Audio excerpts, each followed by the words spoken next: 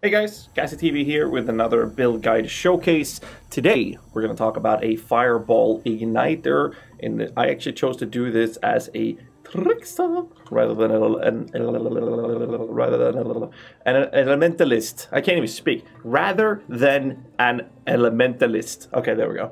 So, um, it's pretty straightforward. Uh, we're using a ton, and I mean a ton of Mind over Matter effect uh, which we talked about in the last video, but I'm going to show you the calculation of mind over matter in this video. Now this is calculated with basic algebra, so I want to talk about this before we do the map so people actually get a good understanding and can look at the start of this video if they want to know how to calculate it. It's basic algebra, so for those of you who skipped school or don't know how to do math, uh, basically you take on a 30% mind over matter, where 30% of your damage incoming is taken from your mana pool before your life pool, what basic algebra calculation means is that you take 3 divided by 7, 10 being 100%, you get 0.428. This is how you calculate your HP, uh, your effective HP by taking your HP pool in this case being 4,847, 4,847 multiplied by 1.428, 6,921. Great, right? It's very easy, but you have to sustain this mana to be able to have this effective HP, and that's calculated the exact same way, just the other way, well, the opposite way. So 4,847 multiplied by 0.428. Enter. So I would need, with the 30% Mind over Matter effect, I would need a bit below 2,100 mana unreserved, or Energy Shield if you use Eldritch Battery, one, of course. So I don't include my energy shield because it's not always there, so I'm only looking at the HP and uh, my mana pool for this. However, this build is utilizing Cloak of Defiance, which gives another 10% of Mind Over Matter. And because we have Cloak of Defiance giving us Mind Over Matter, we never actually take the Keystone because it's provided through the chest piece. Now we do the same thing here. With a 40% Mind Over Matter, you take 4 divided by 6 rather than 3 divided by 7, which is 0.66666, right? So the same calculation here is 4,847 multiplied by 1.666. And you see that I have a bit over 8,000 effective HP. But I need to sustain this, right? So the way to check the calculation of sustaining it, you take it the calculation on the other uh, on the opposite side, which means 4,847 multiplied by 0.666. And you'll see that I need 3,228 mana unreserved to sustain this effective HP. And if you then quickly glance down at the bottom right, I have way more mana than I need. And the tree has availability of specking into even more mana if the mana is not provided from your gear. So we're going to show you some gameplay footage as to talk about the build, and then I'm going to show you all the details, gear and everything. Um, bandits, you're going to kill them all. Pantheons, matter of personal taste. I went with a Brine King and then Shakari. I don't even have them upgraded because I'm lazy with this build today. Um, so those are the Pantheons that you're going to go for if you want to, but they're a matter of personal taste. You do whatever you want with them. This is not a, fi Vaal Fireball build. This is a Fireball Igniter, uh, which means that most of the clearing is done through just spamming out Fireball. Bosses, uh, not really an issue. I don't think there's going to be a problem to do Shaper at all. I doubt that. Uh, however, doing something like Uber Elder is a big no-go. Uh, Chimera was a bit troublesome in my opinion. Uh, so um, I'm only going to do this blight if there's a boss in it, just to show you, but there is no boss, so we're going to skip it. Um, but yeah, it's it's very straightforward. Um, as you can see, the clearing is pretty smooth, the sustaining is pretty smooth with it as well. We're going to talk more about that, some options you can do. For extra single target, I'm using a fire trap gem, uh, which is really helpful for uh, getting that extra damage on bosses, which is also used uh, for the sake of uh, doing something like um, blight bosses, for example.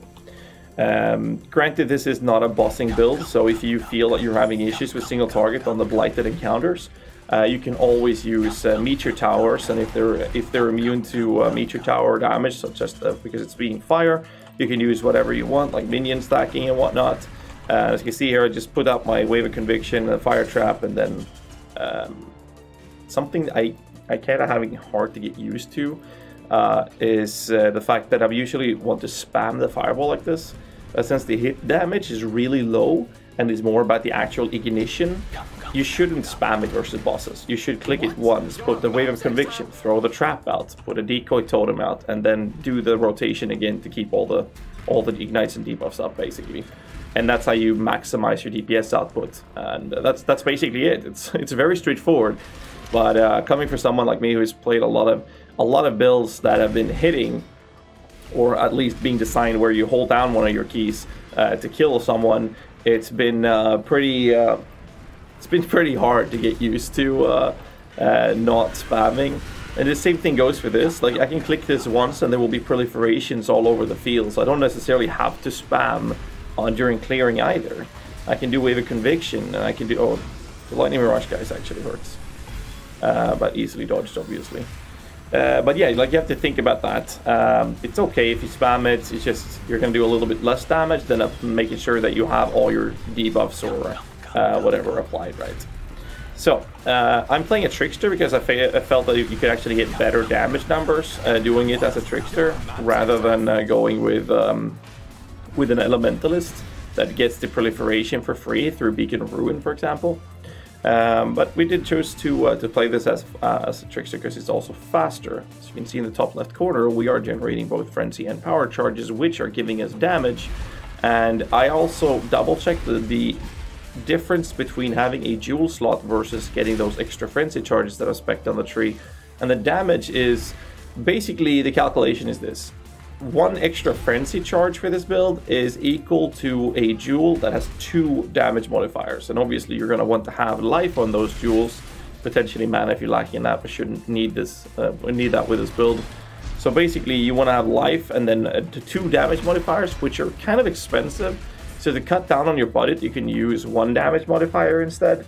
Um, and instead you can just focus on getting, um, on getting, um, what's its face? I just said its uh, frenzy charges. So I'm level 86 with this build, so I'm going to show you the build on POB to give you an idea of how it looks. So as you can see, the um, fireball damage ignition is about 320,000 Shaper DPS. Now it could be a little bit lower with a little bit lower currency invested. I'm going to show you all the details of it. And to help with boss killing, we're using Fire Trap, which deals another mil, half a million Shaper DPS, which is how you bring down bosses. Now, the numbers does tell you that you should be able to do Uber Elder, right? The thing is, this is DPS uh, that are calculated when you have a Wave of Conviction up uh, on the enemy and you've used uh, your Fireball and then used uh, Fire Trap which grants you about 800,000 shaper DPS. That's three abilities that you need to use, and you need to refresh these as well, which can be somewhat troublesome. So the build should be able to do Welder, but I wouldn't recommend using it for it because it could be pretty messy.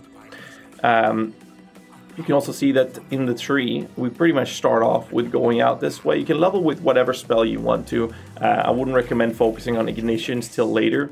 So basically I went out with elemental damage, trickery, pick up the life nodes, and if you're using something like uh, Bane or whatever when you're leveling. I wouldn't recommend using that with this tree though, but you could if you want to. You could actually take the Chaos damage nodes out instead of the elemental ones and go Coordination into Entropy and to pick up Blood Drinker.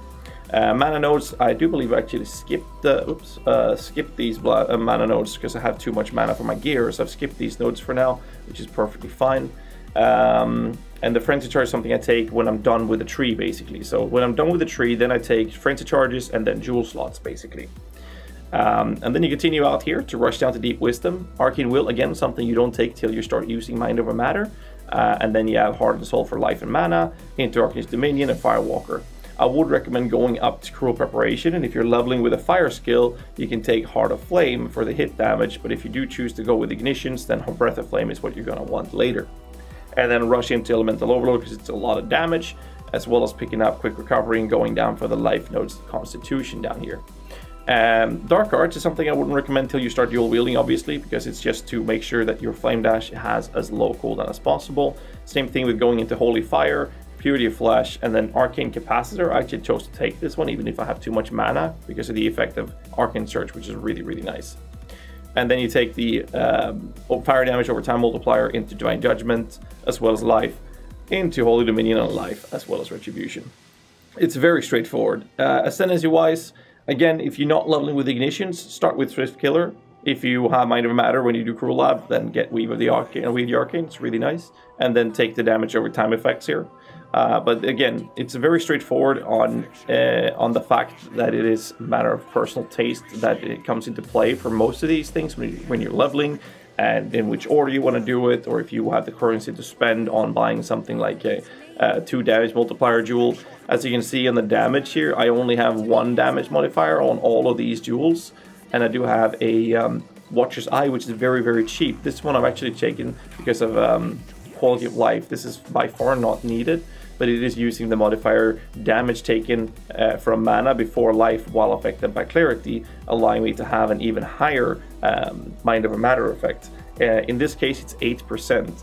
And to show you the quick calculation of how that would look, means that I have 48 uh, percent Mind Over Matter, which means you take 4.8 uh, divided by 5.2 and you see that it's 0.92 instead and the 4847 um, means that I would need 4.4k mana to fully sustain. I've chosen not to do this uh, because of my level, because the remaining levels I have would be invested into more mana to build this up, but it is currently perfectly fine the way I have it. So when you come to a certain point of sustaining, uh, I know that I can only take about a uh, 4,000 let's give you since I have two, not enough mana, I can show you that if you just add it like this, I can take a huge hit of 8.4k and then I'll die. If I take a, hit that is lower than that, I will always survive. But I have a huge amount of sustainability on this mana pool, so my, my EHP is not the, is not higher because of the Mind over Matter effect, but my sustainability of it is absolutely there. And that's thanks to having gear pieces like um, sorry, like gear pieces. Well, I could have on gear as well. I've taken one of my oiling into Battle Rouse, which takes 8% of the damage taken is gained as mana. So every time I take hit, take damage, I will always regain mana pool from it. And that's because we're using the Stampede boots and uh, having oil on the amulet as well. You could craft on the, on your ring, for example, to craft um, a modifier that grants you damage taken gained as mana um, over four seconds, I think and um, when you're hit, allowing you to even further emphasize on regenerating more mana as you're being hit. So you don't necessarily need to get exactly to the cap, it's okay to be a bit below. Uh, but as you see, we're using the Stampede unique boots, uh, allowing us to do another oil, which I've chosen to do Arsonist, because it gives us a lot of extra damage over time multiplier. Uh, the other one is Battle Rouse, as I showed you down here.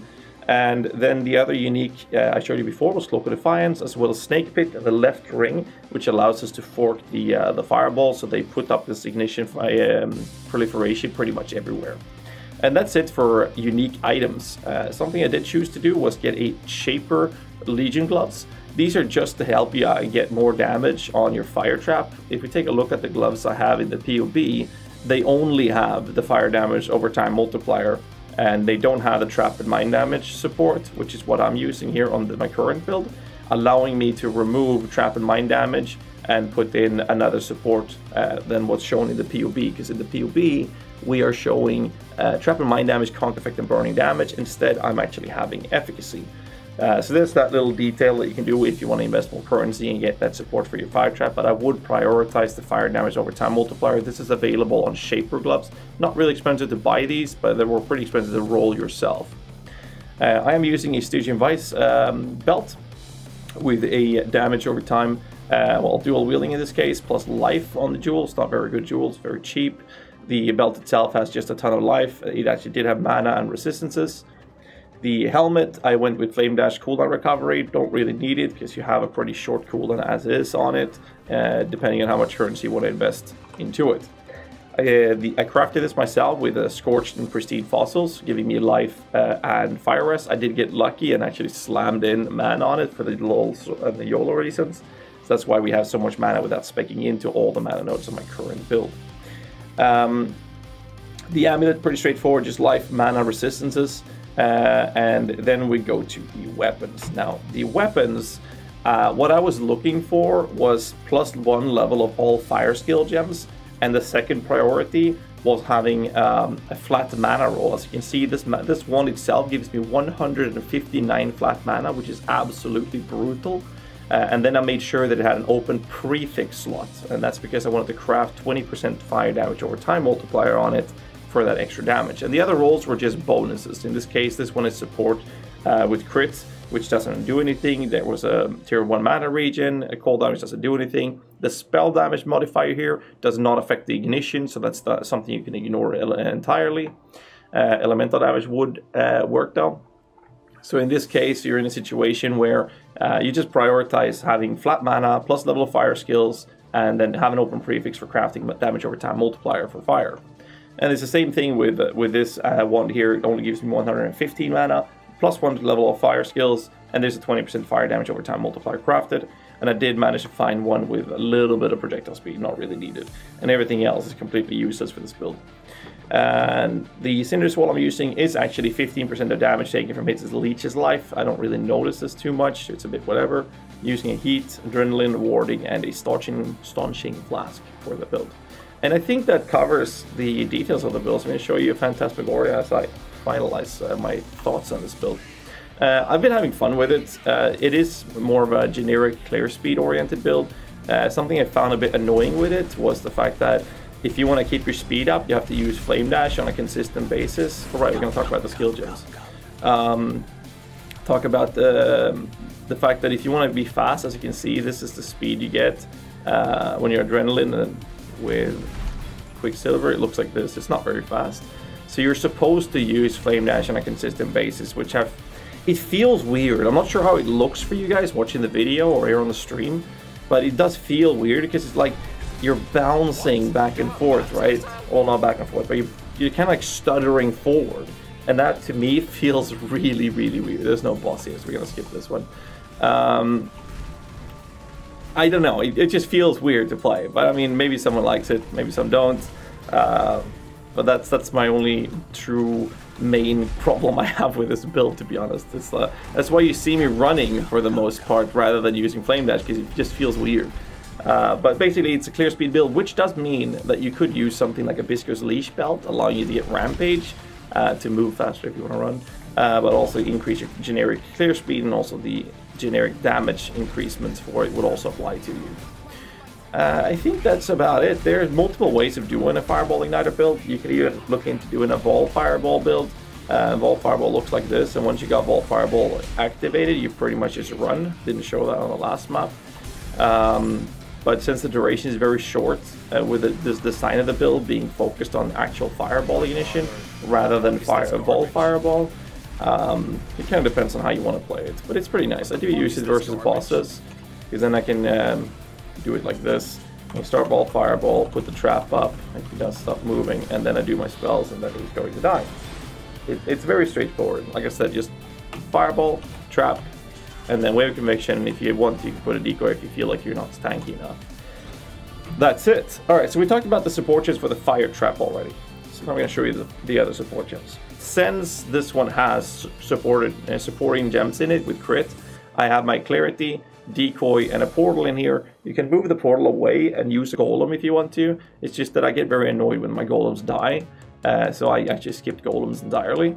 Uh, but basically decoy totem and level 1 clarity and the only reason I'm using level 1 clarity is as I mentioned before, uh, where is my Watcher's Eye, there it is, uh, is because of the damage taken gain its mana on this build uh, when hit by affected by clarity. The POB is showing you the extra mind over matter effect, which I don't use in this build because we don't have mana for it.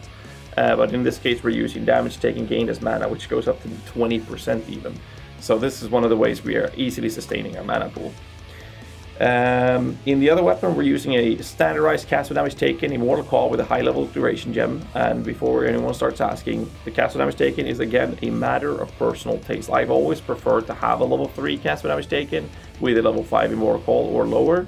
The problem is that since Immortal Call doesn't give you immunity anymore, it would arguably um, be better to have a higher level cast damage taken these days. I just get really satisfied with having it this, this way.